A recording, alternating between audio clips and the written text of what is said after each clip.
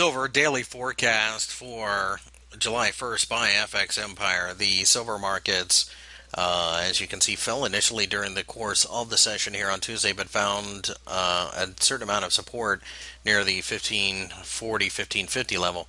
And as a result, uh, the hammer that formed, of course, is very positive, and we feel that it's only a matter of time before we bounce from here. But that's the key. It's just going to be a short term bounce. Beyond that, really not a lot to do with this market. Uh, quite frankly, we don't necessarily uh, want to put a whole lot of money into this trade, uh, but it is the one potential move that we see.